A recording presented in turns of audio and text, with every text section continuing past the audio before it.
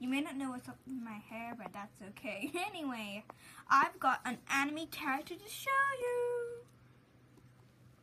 Who said anything about anime? Look at her. Oh, oh okay. Long hair. Apart from here, little strings of hair that doesn't even matter. And then a long tail. See? Do you see the tail? Yeah. So yeah, have a little spin. That part of the tail does not matter. Okay. But it's my tail. I don't know what you're talking about. By the way, I did not ruin My Little Pony.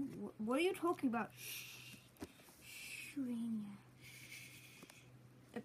Okay. I, my name is Starburst and no, your name is R A I N uh, Y A. Rainier. Okay, Rainier? Um, okay.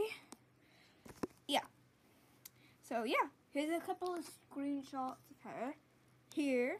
What? And then, now I have to go. Bye. Ow.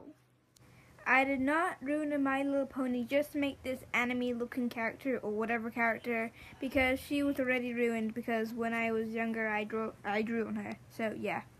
LOL. End it now please. Please.